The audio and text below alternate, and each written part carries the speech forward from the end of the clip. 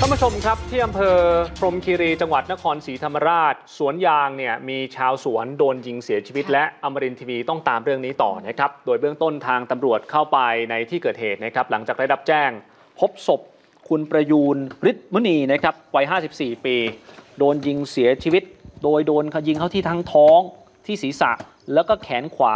อย่างละหนึ่งนัด เป็นแผลชะกัน และที่แผลชะกันเนี่ยก็คือพอโดนยิงปุ๊บแล้วมันจะไปทะลุแล้วเป็นรอยเปิด เพราะถูกใช้อาวุธปืนที่เป็นขนาดแรงสูงฮะกระสุนเนี่ยน่าจะเป็นขนาด 5.56 หรือว่า M16 ยิงเสียชีวิต โดยเบื้องต้นนะครับทราบว่าผู้เสียชีวิตคุณประยูนเนี่ยเข้าไปในสวนยางพาราเพื่อกรีดยาง เช่นเดียวกับทุกคืนครับ แต่ประมาณเที่ยงคืนกว่าๆจนถึงประมาณก่อนถึงตีสองนะครับ มีเสียงปืนดังขึ้น แล้วก็คุณประยูนเนี่ยถูกยิงเสียชีวิตในสวนยางแห่งนี้นะครับ ญาติก็ต้องไปจุดธูปฮะ บอกคุณประยูนหนึ่งใช้หนึ่งดอกอะปักเสร็จแล้วก็ยกศพออกมานะครับ เบื้องต้นมีข้อมูลพบว่าคุณประยูนผู้เสียชีวิตเนี่ยเคยต้องคดีฆ่าคนตาย และโดนโทษจำคุกมากว่า 10 ปี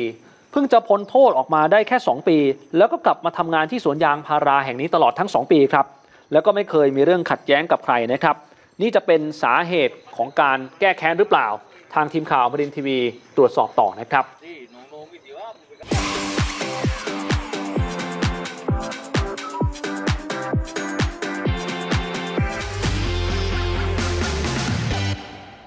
อย่าลืมกดติดตามช่องอมรินทีวีและกดกระดิ่งแจ้งเตือนกันนะคะ เราไม่อยากคุณพลาดข่าวสารและรายการดีๆ กดตรงนี้ได้เลยค่ะ